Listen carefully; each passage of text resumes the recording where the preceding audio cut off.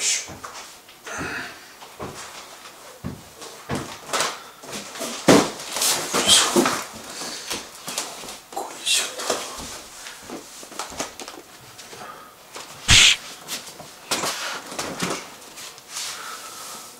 はい、えー、ということで皆様お疲れ様でございます。急蔵と申します。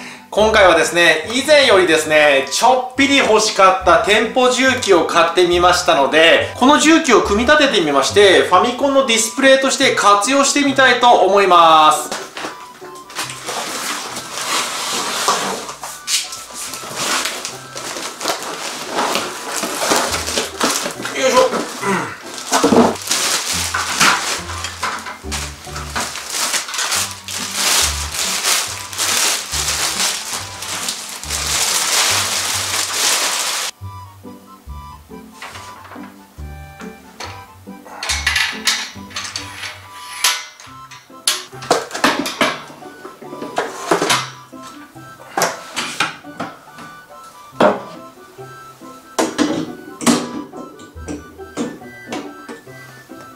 モノタロウ。はい、えー、こういう樹脂のフックを買いました。お店で見かけるですねこういう樹脂のフック。これを買ってみました。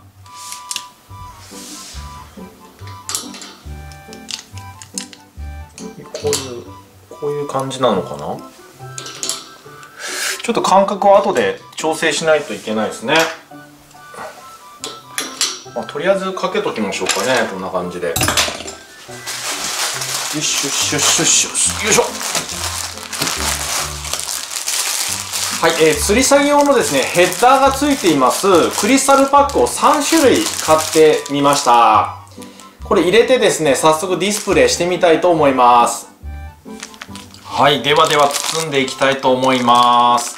えー、まずこの任天堂の小箱タイトルですね。これ多分ですねこの H10 の15ってやつで入ると思いますので入れていきたいと思います。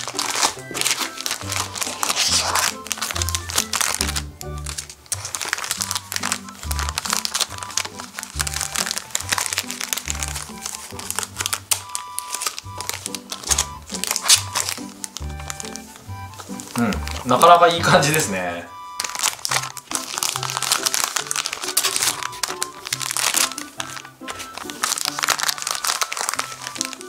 はい、えー、続いてこの中箱のタイトルこちらも袋に入れていきたいと思います。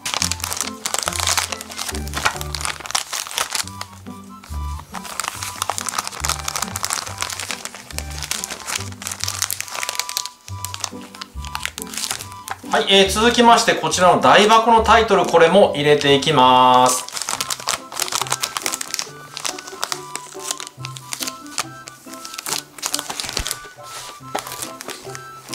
あとはディスクシステムも、えー、袋に入れてみたいと思います。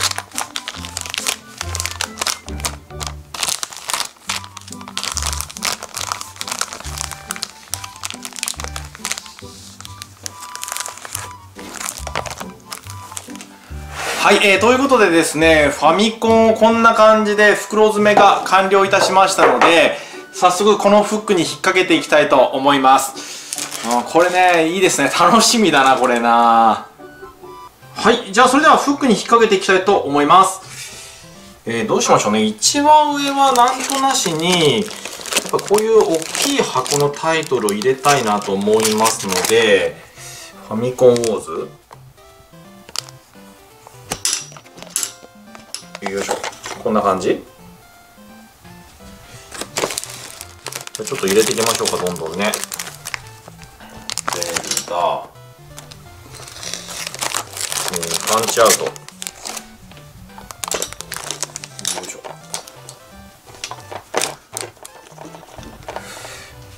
うん3つぐらいが限界なんですかねスペース的に。もう1個ぐらいいけんのかな？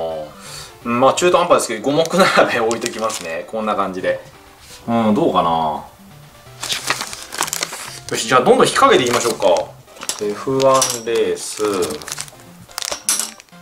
鬼打ち麻雀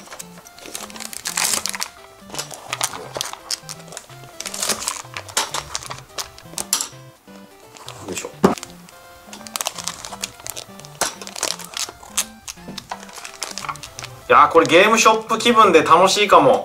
よいしょ。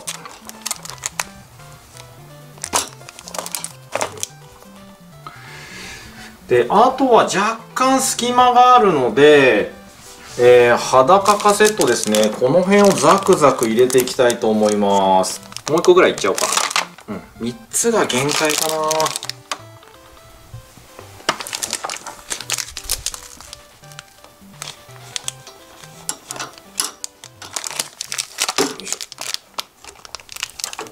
よ。よ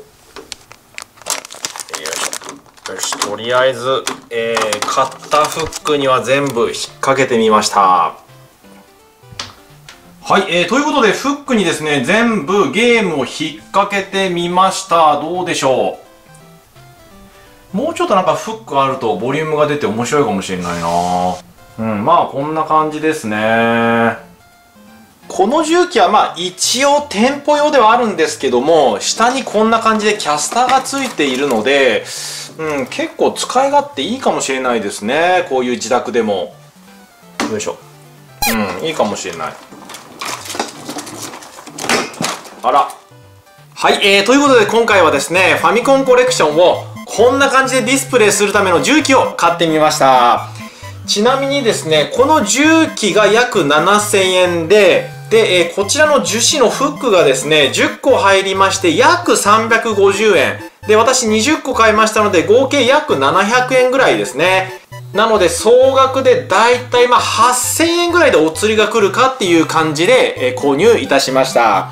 まあそんなに大きいものでもありませんし、キャスターでこんな感じでガラガラガラガラ動かせるので、いやね、これはね、買ってよかったと思いますね。少しでもお部屋にスペースがあれば、これはね、おすすめかもしれません。まあ、ぜひですね、興味ある方は買ってみてはいかがでしょうか。